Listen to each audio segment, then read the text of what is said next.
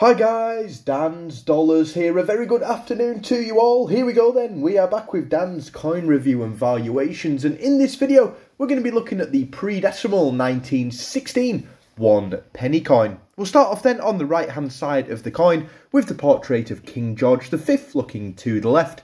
George V Roman numerals for 5 on that left hand side. Plenty of lettering around the top and edge of this coin and this stands for By the Grace of God King of all Britons, Defender of the Faith, Emperor of India.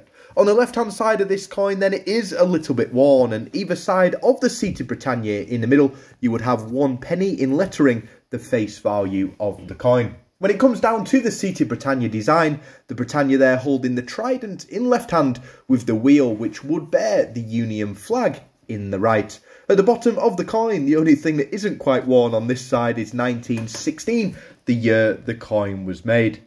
Now that we've gone over the design of the coin, let's move on to the mintage figures. That's exactly how many of this coin was made for circulation back in 1916. Those numbers are on the screen now, and the number is considerably high for a coin over 100 years old.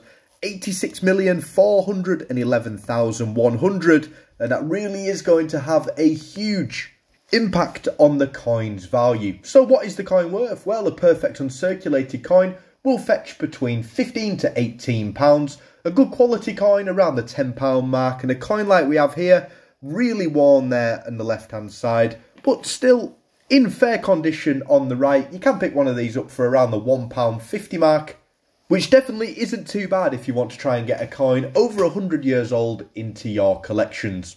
As always, if you want to see your coin featured in a review and evaluation video, please do comment it below. Stay safe, and as always guys, thanks for watching.